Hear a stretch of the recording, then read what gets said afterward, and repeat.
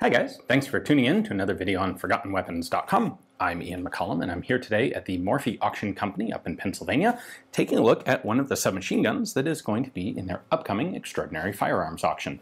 This is a CETME C2, also known as a CB64 submachine gun, and it is obviously heavily patterned after the Sterling submachine gun. However, it is absolutely not just a copy of the Sterling. In fact, None of the parts are interchangeable, and the C2 here actually has quite a few really interesting mechanical features to it. It's like they found some really bright people to do the design of this gun, with the exception of the guy who designed the stock, because the stock is kind of awful. So let's go ahead and take a look at the whole thing.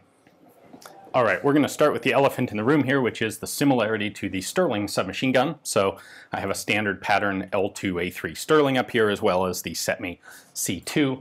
Obviously, you can see the, the general outline, general characteristic similarities.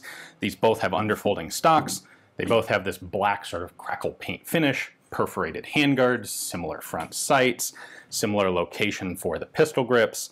However, in pretty much all the main, all the real details, they do differ. So I'm going to start with the magazine. Unfortunately, I don't have a magazine right now uh, for the C2. Um, however, I can tell you it used a straight 30 round magazine, very much like the Spanish Z series submachine guns.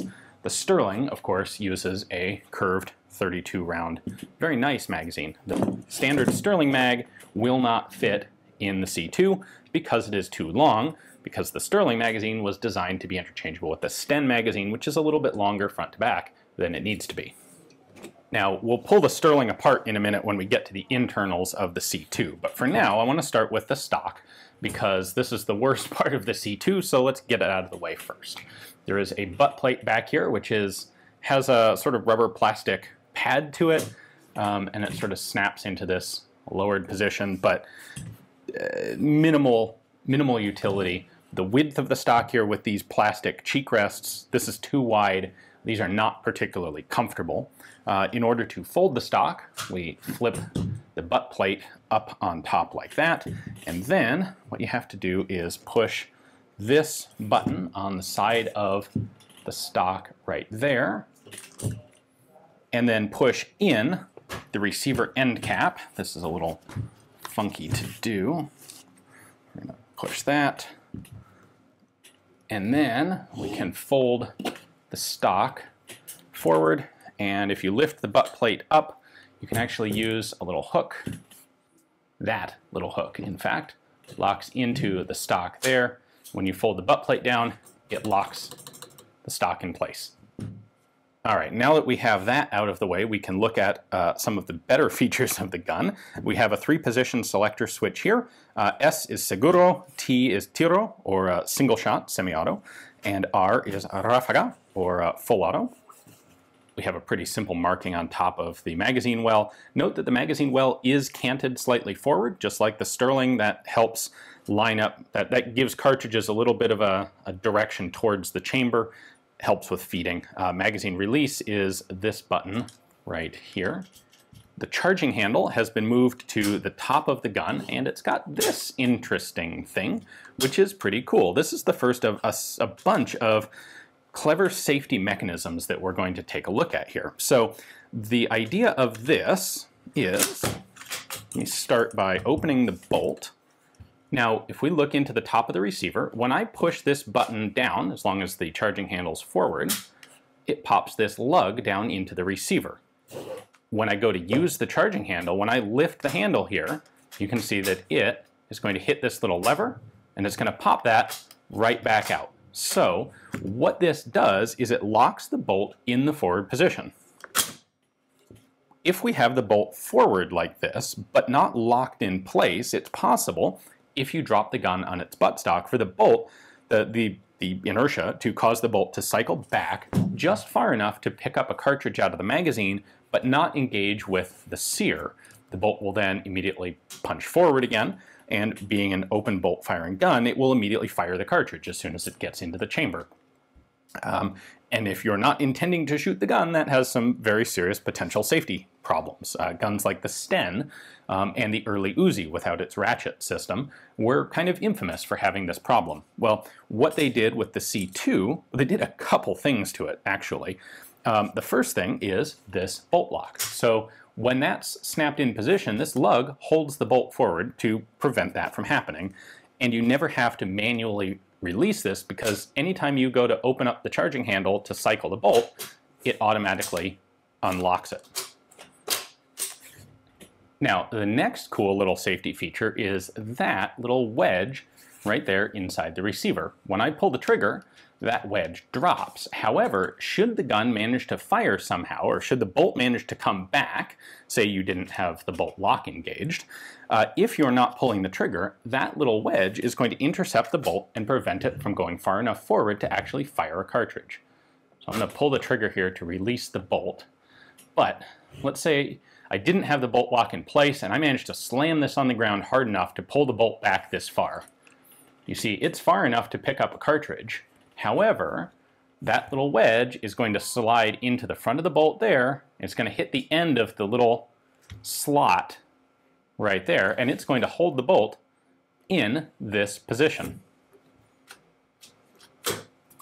Right like that, which means you don't have that once again, you avoid the potential for an accidental firing.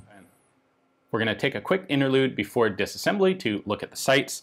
We have a two position sight. We have a 50 yard uh, V notch. You can see there, and a 100 yard aperture sight. Those go together with this square front post with that uh, sort of sheet metal rounded uh, guard around it. Now, disassembly. This is very much like the Sterling. Uh, what you have to do is push this button in, and then you push the end cap in and rotate it.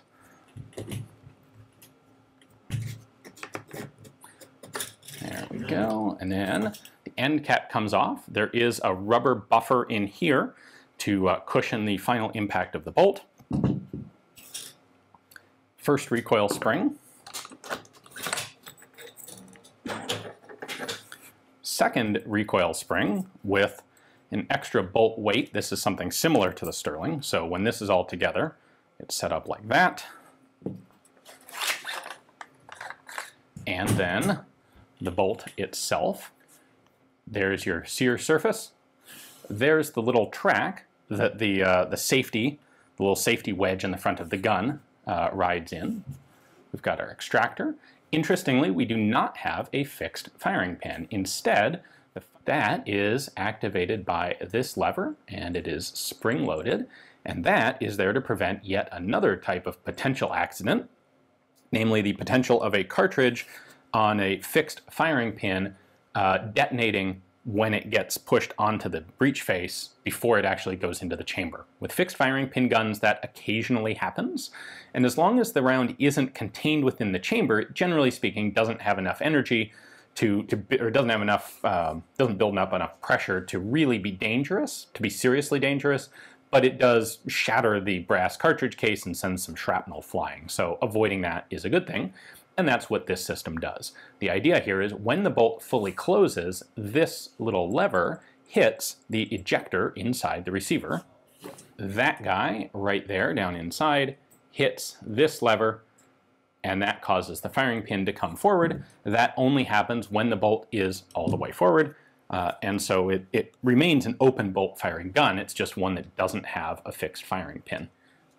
If we compare this overall mechanical setup uh, to the Sterling. So Sterling down here, CETME C2 up here. There are a number of differences, so we're pretty well familiar with this one. The Sterling has a bolt handle that reciprocates, uh, that is fixed to the bolt, and actually used to hold the bolt and its internal weight together. The Sterling does not have this rubber buffer. Uh, Sterling guns do occasionally have buffer pads on the inside, or at least the suppressed ones do. Um, however, the Sterling actually has, it's a little difficult, I can't really show you it working, but there is, you can see that center peg, that is actually spring loaded. And so this sits on top of it, and this whole thing can compress together, and that acts as the buffer uh, on the last bit of travel. So similar result, different system to get there. The Sterling does have a fixed firing pin to it. Uh, diameter of these two bolts is just slightly different. There's no way they can interchange aside from all the other reasons uh, that they wouldn't be able to interchange overall a really nicely designed gun. Um, I didn't mention the grip before. Uh, it is of course a little bit different than the standard Sterling grip. I don't know that I would call it a major improvement. Um, they're both quite good. The original Sterling grip was quite comfortable as well. Uh, these guns were manufactured in both 9mm Parabellum and 9mm Largo. Uh, typically the Largo would be for uh, internal Spanish uh, security forces use. 9 Parabellum is more popular for the export market. Um, overall, a very cleverly well-designed gun. It's it's too bad it's let down a bit by the stock, but beyond that, definitely something uh, underappreciated. As the name implies, these were developed in the mid-1960s by CETME, the Spanish government-owned arms production facility.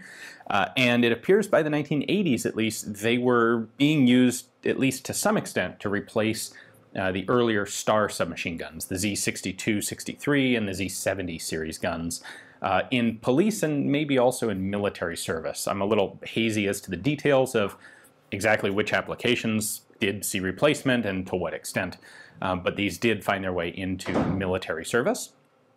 So um, a very cool example of a very rare submachine gun here in the United States. If you like this sort of thing, uh, make sure to check out Morphy's auction catalogs. They always have a whole bunch of very interesting uh, Class 3 machine guns, uh, as well as a wide variety of other firearms.